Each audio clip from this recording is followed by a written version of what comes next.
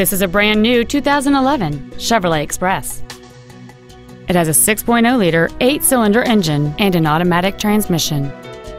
Its top features and packages include the appearance package, heater vents for rear-seated passengers, cruise control, a leather-wrapped steering wheel, an auxiliary transmission cooler, a passenger side vanity mirror, privacy glass, a low tire pressure indicator, keyless entry, and an anti-theft protection system.